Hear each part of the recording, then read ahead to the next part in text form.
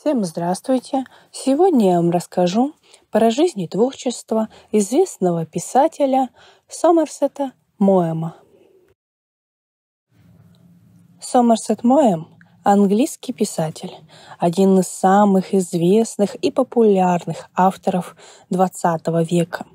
Его творчество охватывает различные жанры, включая романы, рассказы, пьесы – и даже автобиографические произведения. Уильям Сомерсет Моэм родился 25 января 1874 года в британской резиденции посольства в Париже. Место для родов было выбрано не случайно. Его отец, Роберт Моэм, служил в посольстве консультантом и прекрасно разбирался в законах. Он знал, что посольство считается частью английского государства, а значит, ребенок, рожденный на его территории, является гражданином Великобритании. Так родители оградили Уильяма от обязательной по французским законам мобилизации в случае войны. Мальчик рано лишился своих родителей.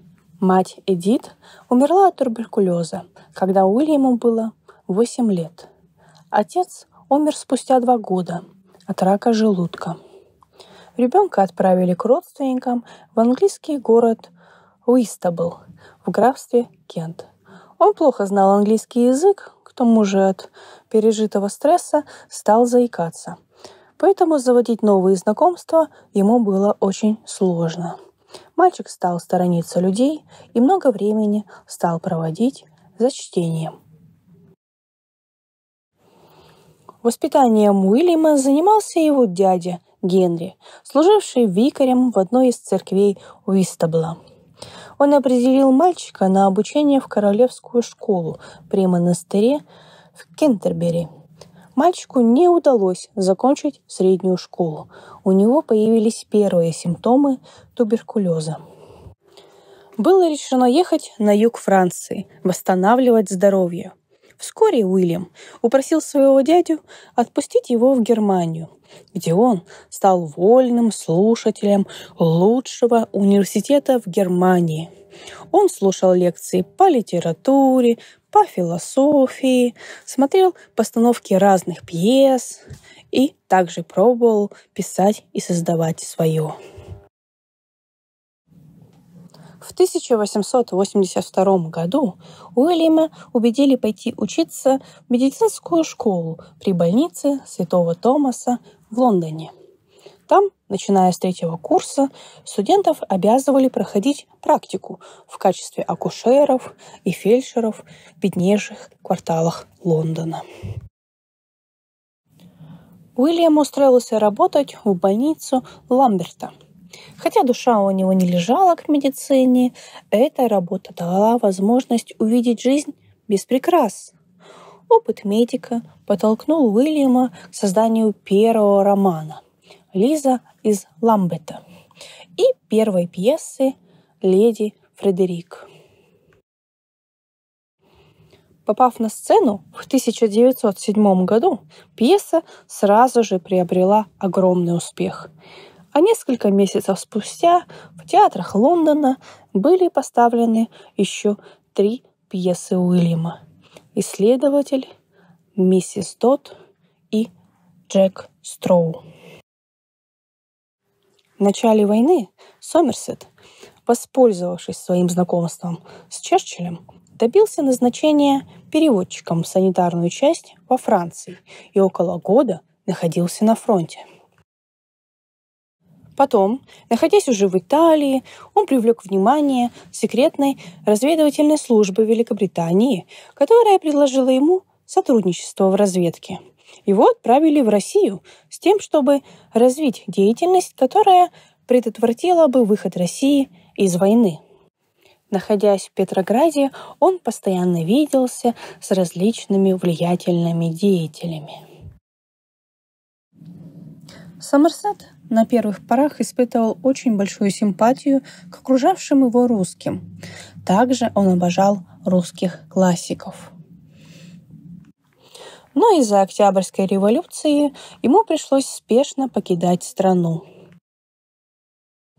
Находясь под влиянием творчества Эмиля Золя и Мопассана, Уильям стремился писать с натуры.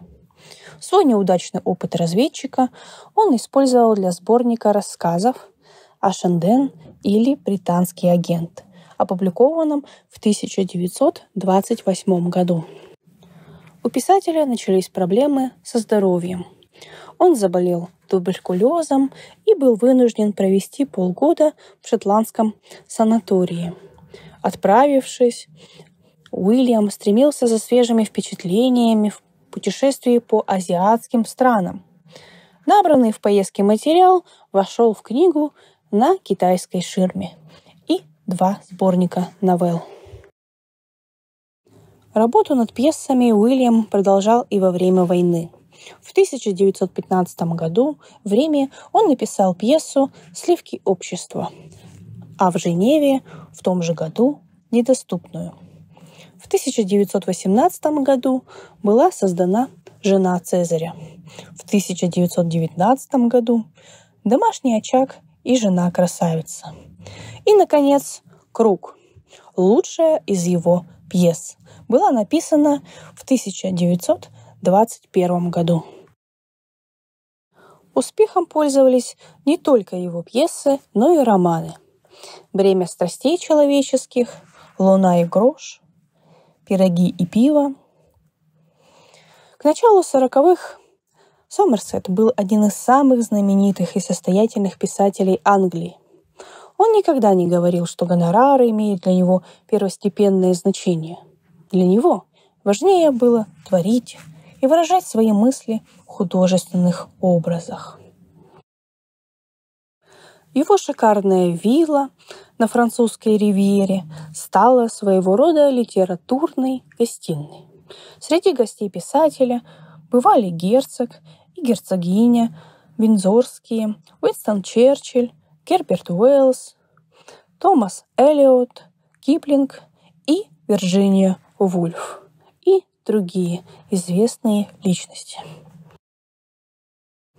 Путешествия всегда играли важную роль в жизни Сомерсета Муэма. В них он находил вдохновение, отдыхал от мирской суеты и раскрывал новые грани своего таланта. Так, во время Второй мировой войны он оказался в США. Там он много работал над сценариями для Голливуда, бесконечно внося в них поправки. Параллельно писался роман «На острие бритвы», который был завершен в 1944 году. К концу сороковых Сомерсет устал говорить полуправду. Он понял, что изображение человеческих характеров в романе или повести получается сложнее, и сама жизнь представляется более объемней. Сомерсет больше не хотел облегчать ситуации или что-то не договаривать. Если в начале творческой биографии он стремился к, к известности любой ценой, то со временем он стал равнодушнее к успеху, зато требовательнее к мысли. После 1948 года писатель окончательно отказался от драматургии и художественной прозы. Трудился только над эссе на приземленные темы.